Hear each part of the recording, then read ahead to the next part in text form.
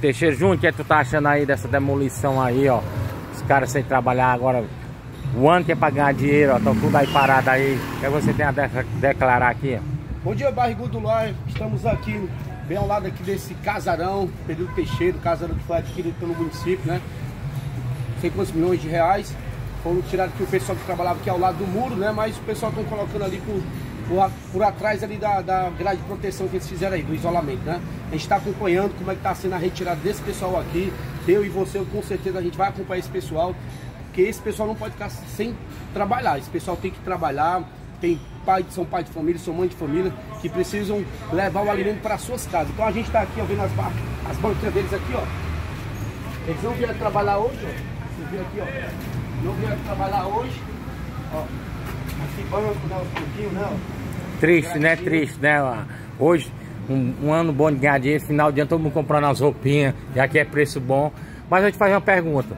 Você sabe que o Felipe, quando ganhou, fez uma promessa para ir a pé para Canindé. Essa promessa que ele fez era para derrubar. Primeiro que ele derrubou faz séria. E agora está derrubando tudo que é público, que é patrimônio público, que você tem a, a falar. Mas isso é triste, né? Assim, a gente estamos num ano aí praticamente de pré-eleição, né? E a, tirar o pessoal da rua, tirar o pessoal que vem pegando esse sustento aqui né, num trabalho informal como vendedor ambulante.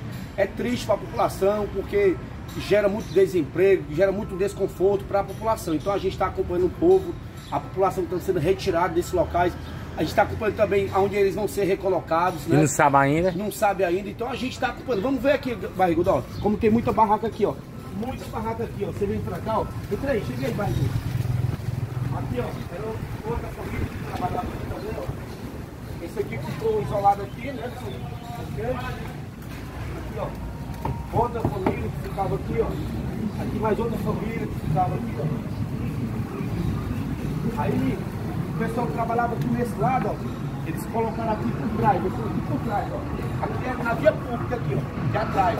Então, e não mexe também com o pessoal mais aqui atrás também não, deixa o pessoal trabalhar.